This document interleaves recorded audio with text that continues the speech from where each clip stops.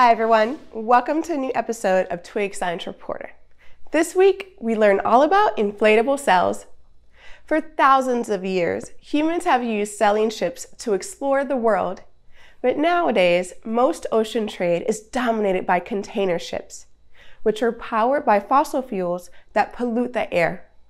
But now, scientists are developing a new type of inflatable sail. These sails are designed to attach to modern freight ships and rise up when it's windy. The sails add extra wind energy to the power of the ship and allow the freight ships to burn less fuel, making them more environmentally friendly.